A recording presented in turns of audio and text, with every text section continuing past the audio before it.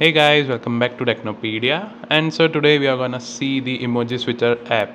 With this app, we can install many emojis from different devices and enjoy them on our device. For the purpose, we need to install the app which is named as Emoji Switcher. We're gonna see it now. Okay, firstly we have to install this app. As you can see, it's installing now. Let me just fast forward the installation part. Okay so we have installed the app now. It's time to open the app.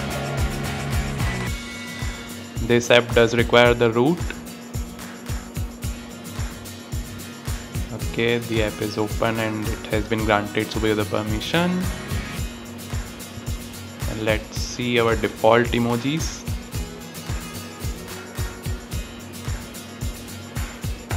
Here are our default emojis as you can see they are stock based lollipop emojis.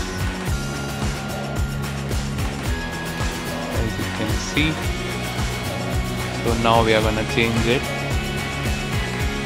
with the emoji switcher app okay currently it's not detecting our emojis. That's fine. Let's choose which emojis which we want. Okay we have chosen galaxy s4 currently downloading the emojis. It won't take a long time. Okay.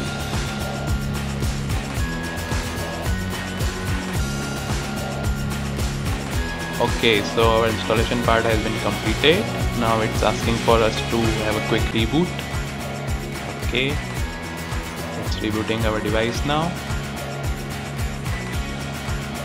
okay as you can see now we have the galaxy s4 emojis right on our device. All our stock emojis have been replaced with the galaxy s4 emojis which is really cool. You can enjoy so much different emojis as you can see in the list. Let me just open the list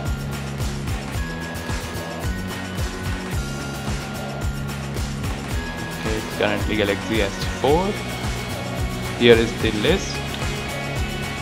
Now we'll try the iOS 9 emojis.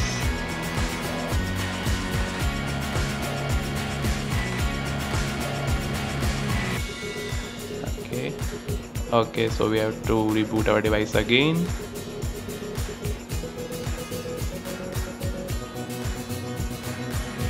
Okay our device has been rebooted now see if we have got the iOS 9 emojis. Oh yes as you can see now we have the iOS 9 emojis with us.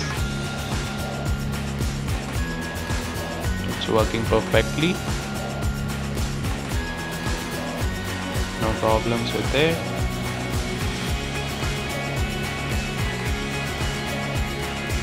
Okay so that was it for today guys.